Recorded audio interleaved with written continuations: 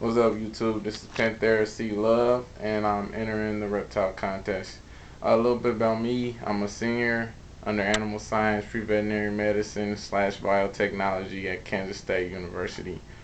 Uh, a little more about me. I have one and a half dogs. The other dog is my girlfriend, and one snake. I'll show you my dogs right now. Romy, Romeo, hey, look at me. Yeah, that's my boy. And that's my girl's dog, Jules. She's a sweetheart. She's still a puppy. Romeo's two on Christmas. Uh, here's a picture of them. Also, of them and my snake. Alright. Uh, the story behind me and my snake. Uh, I started working at a pet shop in late December. Uh, the guy that gave me my dog, he's the guy that owns the reptile shop. It's a local shop, and he's very particular on how to take care of his animals. So I'm working there. I've been learning and being more confident in how to handle them and take care of them. Um, another guy that works there, who is my friend, his name is Adam, and uh, he introduced me to all of his snakes. He has about three uh, boa constrictor imperators, common boa, Colombian red-tailed boas. They're the Colombian version. Uh, and you know, I started doing my research on them in particular just because he showed me them and I was he I seen how passionate he was about them, so he kind of transferred that over to me. Uh, and he also told me one of his females, a larger female, she'll be breedable, and he was when she was ready in a year to have her baby, she would he would give me one. He said she was 100% het for albino or whatever. So you know, I was like, you know, a free snake. I'll do my research and I'll have a year to to get ready for it. Needless to say, I'm entering a contest. It hasn't been a year. It's been two months. All right, this, here's the deal. We in the shop we got in a couple of uh, Burmese pythons, and one of them was really small and sick. And so Adam decided that he should take care of that snake on his own. So the owner of the store is like, you know what, go ahead, take care of her. I'll pay you for it. You know, she's a good. Please, just you know, I don't want the snake to die. Um, so he took the snake and he realized he wasn't giving his other snakes as much attention as they needed. So when he came to me and he offered, he was like, you know what, I need your help. Will you please take this snake or do you want this snake? He didn't say, can you take this snake? He asked me, did I want it? So I was like, bring her into the store and I'll check out, see if I want her. And sure enough, it was love at first sight when he brought her in. And, you know, I was gonna take her, but then I told him, you know, hey, I don't have the proper stuff for the snake. I don't have nothing. And then he's like, you know what? I'll give you stuff. I'll give you a tank, an under tank here, and all this stuff. All you need to do is buy a lamp to start off with. So I did that, and I took her home. Now I realized I didn't want that small tank. I wanted something bigger. So I went ahead and started buying bigger stuff, and then gave him his tank back when I got all my stuff. So right now I'll show you her tank, and I'll show you her in a little bit.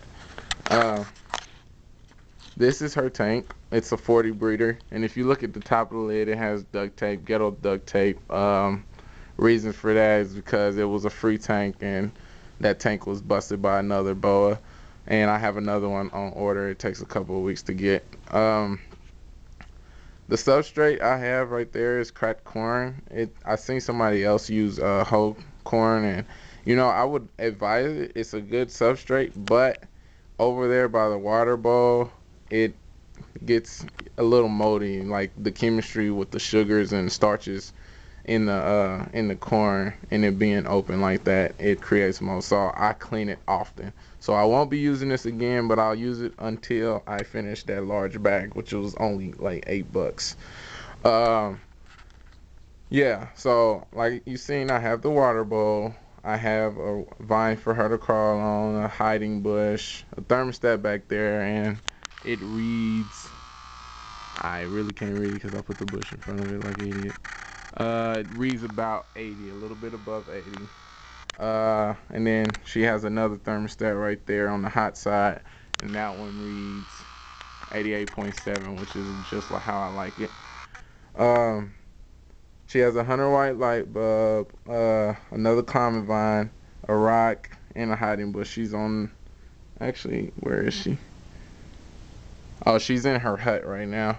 Um, But that rock I got from my front yard and I sterilized it. I how I did that was I put it in the oven at like 400 degrees for about or 400 yeah 400 degrees for about three to four hours can't remember exactly but it was at least three and i took it out let it cool then set it in there. So there's nothing bad on there. Um i have an under under tank heater of course to help keep the ambient temperature up. And the reason why this cloth is up there is to help keep moisture in because it has a screen and it's an all glass tank. So this actually helps keep the moisture in. And when I put it on there, it raises the temperature a lot too, so it keeps it in the temperature in there. I spray water in there about every three to four hours right now. She's pre-shed also. She'll be shedding probably tomorrow because she's clearing up in her eyes. Um, I'll take her out for you right now. She's actually due to feed, but I can't feed her right now because I don't have the food with me. I have to go to the store. I will make a video, so if you want to check out my video of her feeding later, then you can do that. But yeah, I'll get her out right now. And I just soaked her about about 20 minutes ago, so she should be nice and moist for me. Not slimy people. Um, this is her. Her name's Maya. She's the coolest snake ever. She's very calm temperament. I love her. We make out all the time. Let's get her. Let's give him a little taste.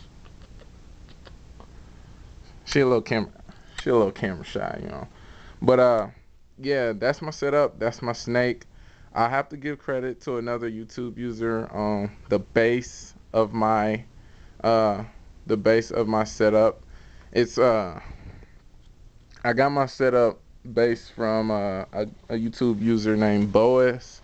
Boas04. He's like a guru to me. I watch all his videos and get ideas from him.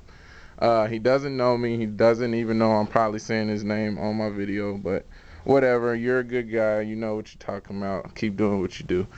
Uh, I basically deserve to win this because I've been doing research for for a long time. I've been learning more every day there's something new that I learned. I just learned how to get her to poop when she wasn't pooping. Put her in a warm bath for a while. She pooped like a like a dump load on me. Um, yeah, but that's that's my that's my uh, snake. That's my cage.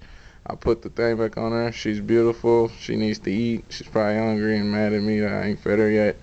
But yeah, I put. That's all. Once again, and my beautiful.